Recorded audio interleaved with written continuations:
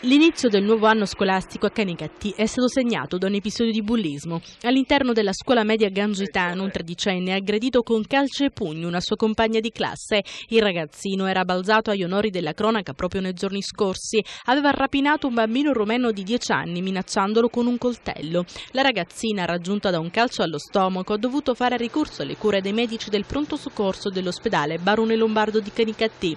Tutto è avvenuto all'interno dei bagni della scuola, dove la vittima aveva aveva tentato di rifugiarsi dopo che con il suo compagno aveva avuto un accesso di verbi all'interno dell'aula. La professoressa in quel momento si era allontanata per segnalare alla dirigente scolastica la lite. A quel punto il tredicenne ha iniziato ad inveire con maggiore forza nei confronti della sua compagna che per paura di essere aggredita si era rifugiata all'interno del bagno delle donne. Imperterrito il ragazzino, conosciuto come il baby rapinatore, l'ha inseguita e le ha sferrato un calcio all'addome. Il provvedimento disciplinare adottato dalla scuola ieri mattina nei confronti del protagonista di questa aggressione è stato l'allontanamento dalle lezioni. Nei giorni scorsi la polizia, dopo averlo indicato come l'autore della rapina ai danni del bimbo romeno, aveva fatto partire una segnalazione alla Procura dei minori di Palermo e contestualmente aveva avvertito i servizi sociali del comune affinché si occupano di questo caso delicato. Adesso la ragazzina aggredita sta bene, questa mattina è rientrata in classe.